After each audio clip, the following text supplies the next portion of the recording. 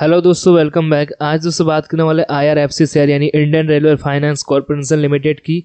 आज शेयर का जो प्राइस है, इक्कीस रुपये साठ पैसे। लगभग मार्केट में पाँच पैसे का अपर सर्किट गया है और लगभग zero point twenty three percent का अच्छा खासा ट्रेडिंग वॉल्यूम के साथ काम काज हो रहा है।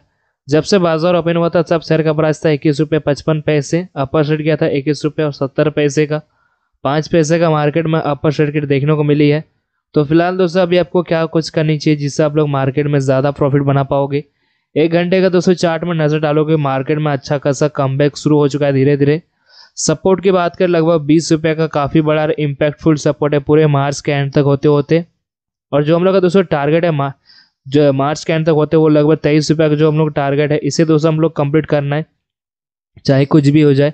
अभी दोस्तों आपको रेगुलर बाय करते रहना लेकिन सबसे पहले जो बाईस रुपये का जो टारगेट इसे तो हम लोग इसी हफ़्ते कंप्लीट कर सकते हो। तो जितनी ज़्यादा हो सके खरीदारी करने का टाइम है अभी। लॉन्ग टर्म में देखने का फ़ायदा आपको ज़्यादा बनेगा। शॉर्ट टर्म में देखने से कुछ नहीं होता, थोड़ा बहुत ही प्रॉफिट बनता है, लेकिन अगर लॉन्ग टर्म में देखोगे तो काफ़ी बड़ा फ़ायदा है दोस्तों। लॉन्ग टर्म में देखना पड़ेगा आपको।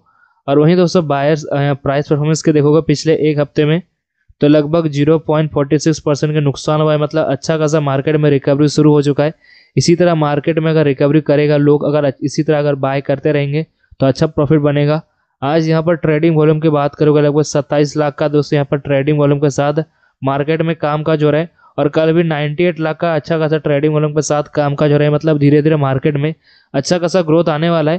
अगर आपने खरीदारी नहीं किया तो जल्दी कर लो अच्छा खासा और प्रॉफिट आपको बन सकता है इन फ्यूचर और वहीं दोस्तों बायर सेलर्स की अगर अपडेट की बात करें, आज जो buyers one lakh ninety two thousand two hundred two forty one है और सेलर्स है twenty four lakh sixteen thousand eight thirty three मतलब दोस्तों बात करें सिक्सटी परसेंट लोगों ने मार्केट में सेल किया है और फोर्टी परसेंट लोगों ने बाय किया है मार्केट में।